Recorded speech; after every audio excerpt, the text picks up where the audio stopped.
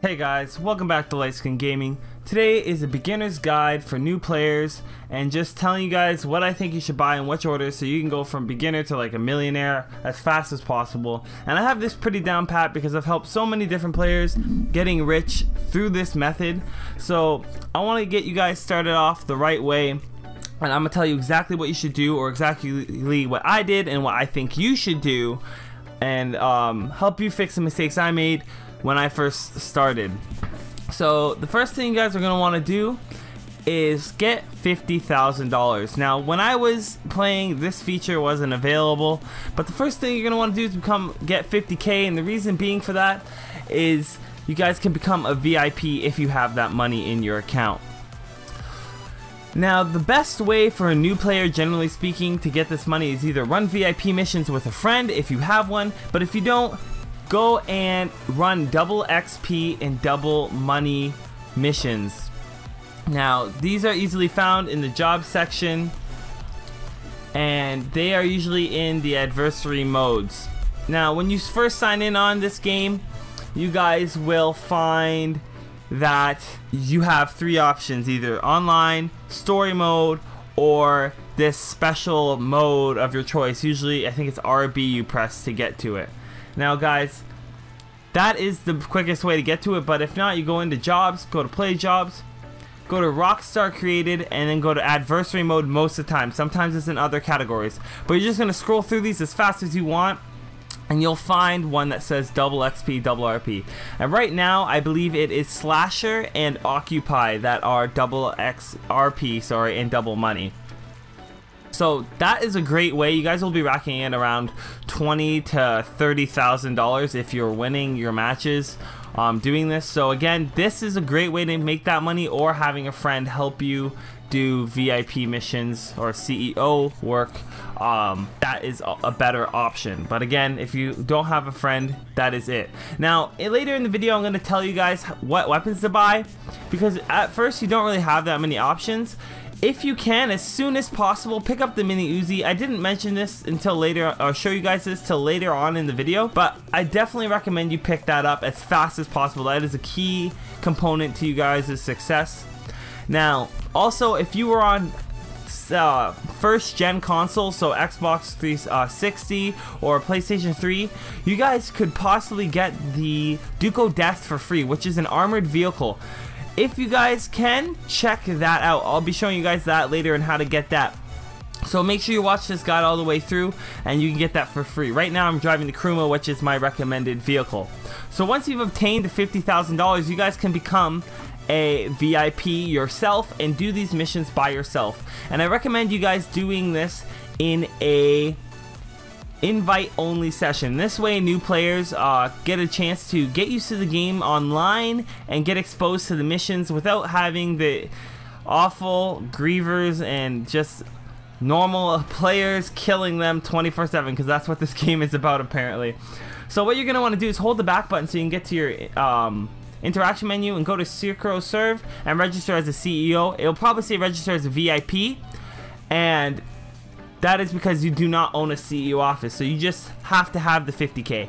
Remember guys, you're not spending the 50k, you just have it, and that allows you and gives you access for that. You're a very important person now because you have that much money and you have access to these missions. This will only be active for 4 hours and then you have to re-register, so that's not a big deal. It's not like you lose the 50k, you just can re-register every 4 hours. Now two missions you guys are going to want to do is Headhunter and Sightseer. Now these missions I have done in other videos over and over again.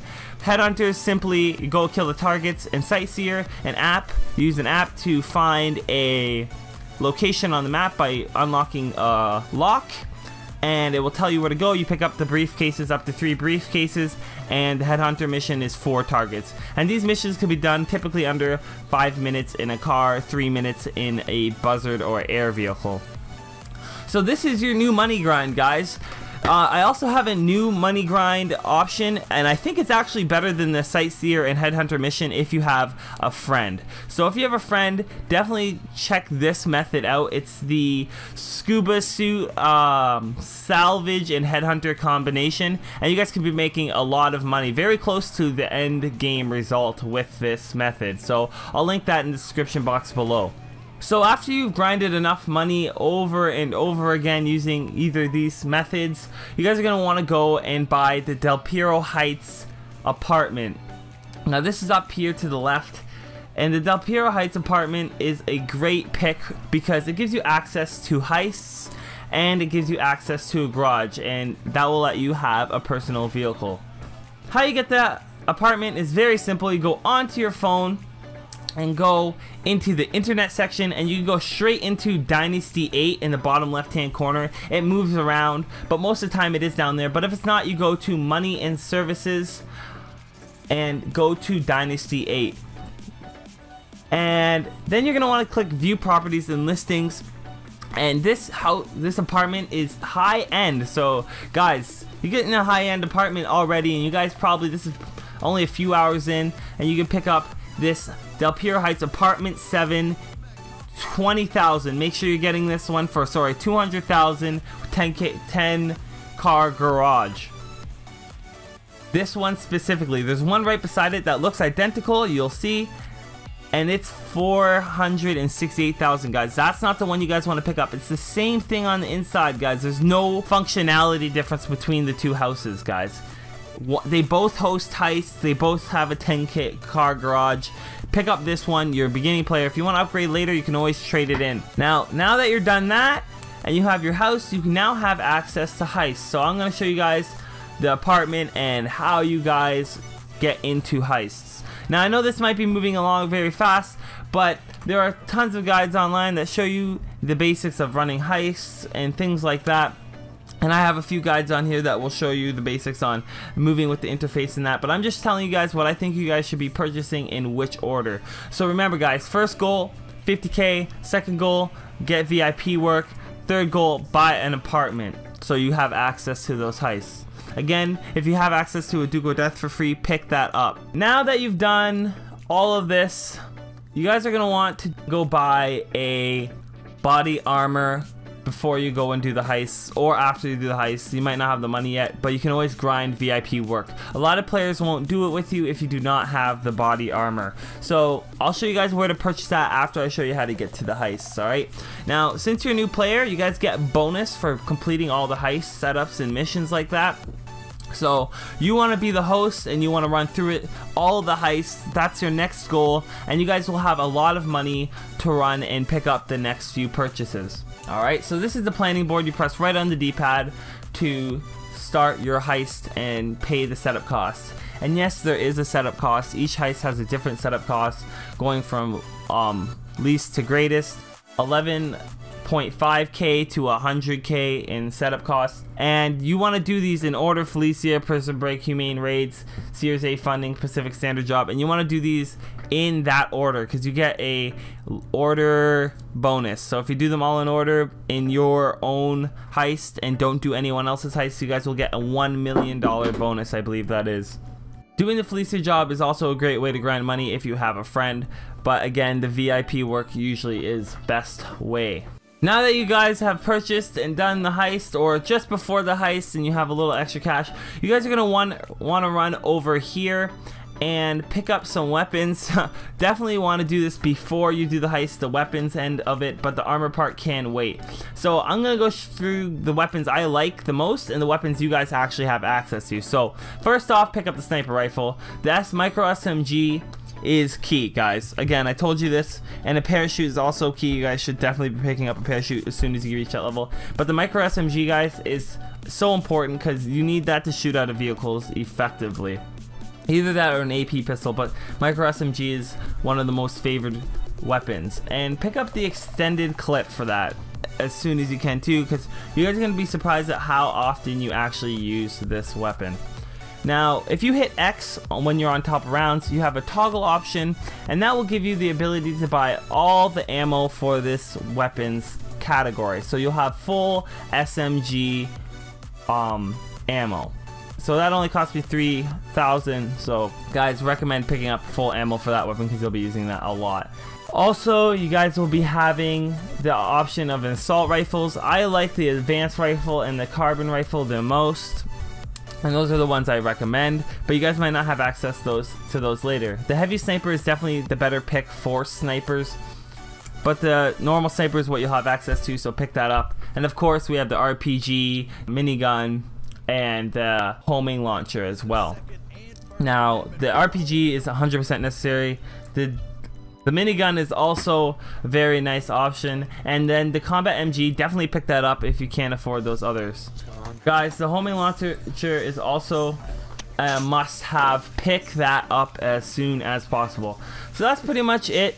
The assault shotgun, I love that. Pick that up too. Everyone has their own opinion on what weapons are the best. I don't care what ones are the best. I like the ones that I like to use because I'm comfortable with them and I like the way they're used. Again, down here is where you get all the pistols and explosives. Ease up on the explosives when you're first starting. They do become costly when you don't know how to use them and you misuse them and they're just expensive in general for newer players. Now we're going to move on to the armor over here. Before doing the heist, or even after doing the heist, at all times you should be maxed out on all types of armor.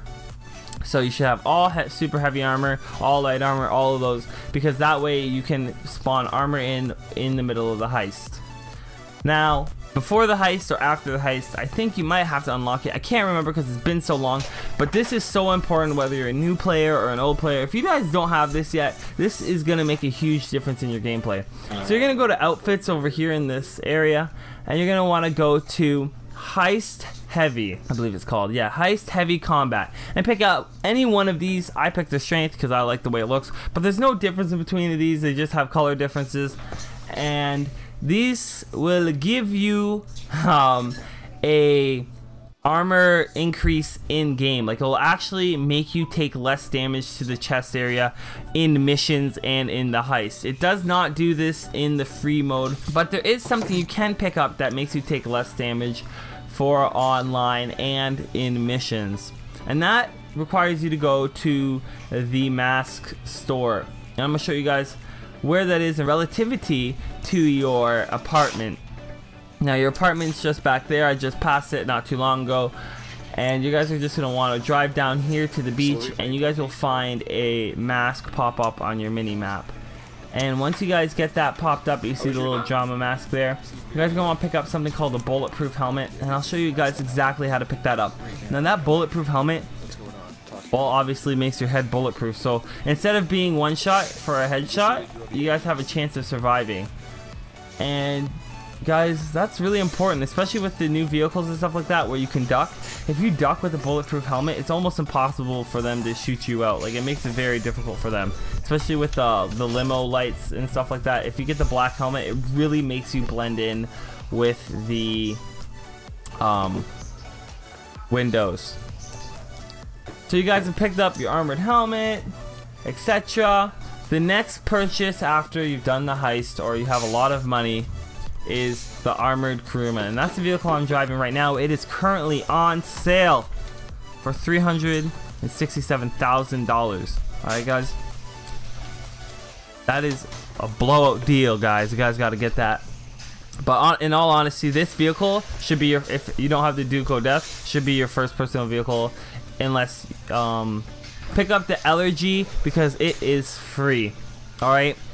but it is not armored. This is an armored vehicle. If you were to purchase a vehicle like you want to, you're looking at sports vehicle and stuff like that, you don't pick that up right now. You guys are beginning. You guys need a fast, overall, well built car. This is armored, has four seats, and it's fairly fast, guys. This will get you through almost any mission with no problem. So this is the vehicle to have. I recommend even like advanced players that have the Duke of Death and have all those fancy things. You guys gotta have this vehicle. This vehicle has helped me so much, and I avoided buying it because I had the Duke of Death and the Insurgent and all these other armored vehicles. But this vehicle is quite unique because the bulletproof windows are really, really, truly bulletproof. Like, it's impossible, impossible for NPCs to shoot you out in this thing.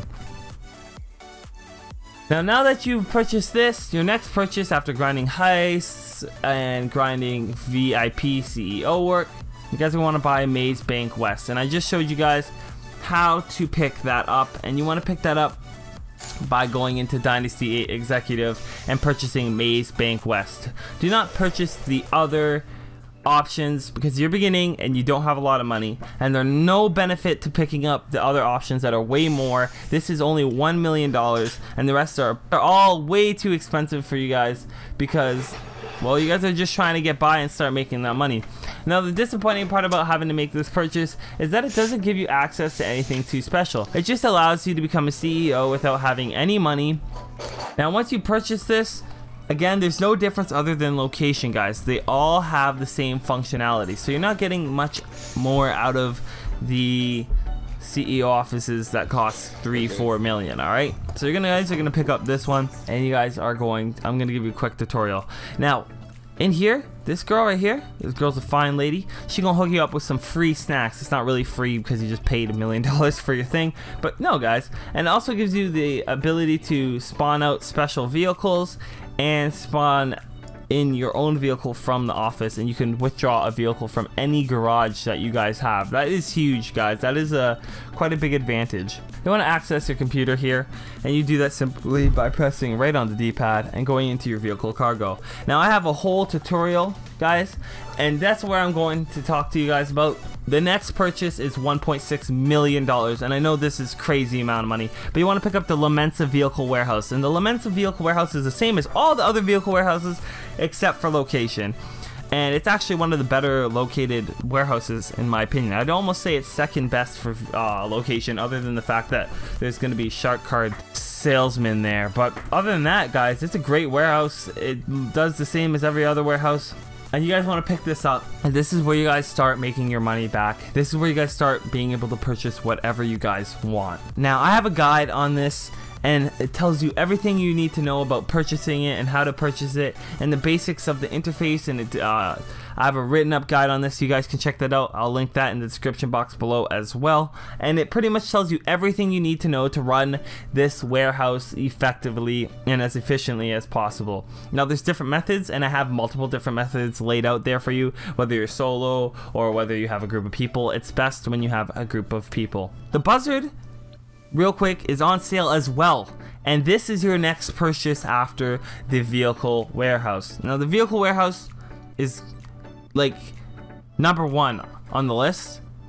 But the chopper, guys, being on sale, you might want to pick that up first. But remember, you guys aren't going to be making as much money without the vehicle warehouse. So in my opinion, I'd pick up the vehicle warehouse. And even if the buzzard comes off sale, it's all right because you guys are going to make that money. That's easy money when you have a vehicle warehouse, guys the buzzard is on sale. And as you've seen there the Duke O'Death was there. I'll show you guys again about how to get the Duke O'Death. But that buzzard being on sale guys that's huge. If you don't have one already and you're just watching this video because you want to know what you think you should buy next that is great to pick up the buzzard. And that is the reason why right here is because you can just spawn it in anywhere on the map. Any road. It's not like you have to go pick it up like regular Pegasus vehicles. And you do that by holding the back button going to Secret Service and then you go to CEO vehicles and you can spawn in your buzzard whenever you want when you purchase one. If you do not have one it's gonna cost you 25k just to spawn it in once. And once it's destroyed it's destroyed. You have to pay another 25k so do not do that.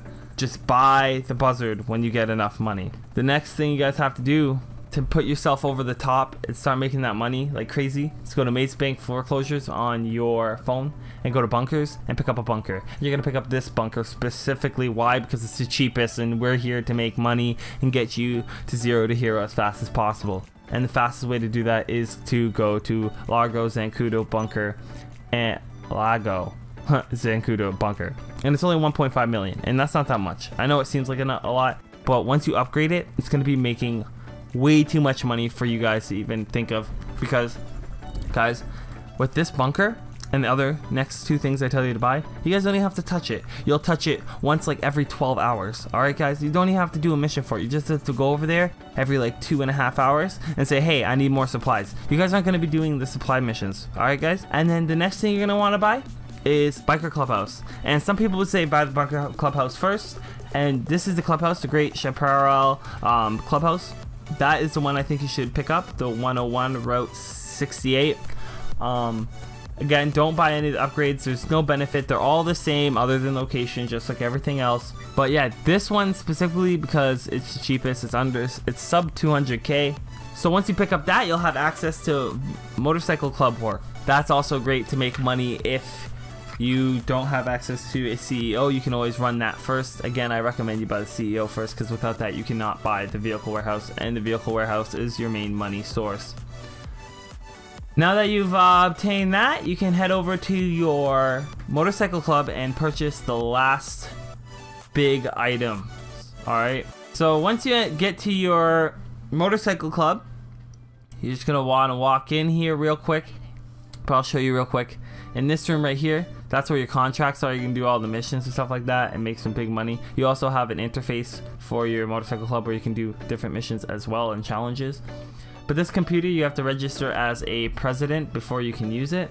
Once you have done that, you guys are gonna want to go in the computer real quick and pick up the meth lab and cocaine lab. Cocaine is primary. You pick up that one first, the cheapest one, and the methamphetamine is your second one. Now, if you're feeling optimistic, you can pick up the weed, but you already have a bunker and two other businesses, including the methamphetamine and cocaine business, that are side hustles that you don't really want to add the weed on unless you're experienced, and it can be overwhelming. So, cocaine and meth. For businesses, you go CEO office, vehicle warehouse, bunker, cocaine, and then meth. Now the bunker and cocaine and meth are all side hustles. You guys just buy your supplies for those businesses. And I have tutorials on how to run those businesses separately. This is just an order of what things you should be running and what uh, things you should be buying if you're a new player.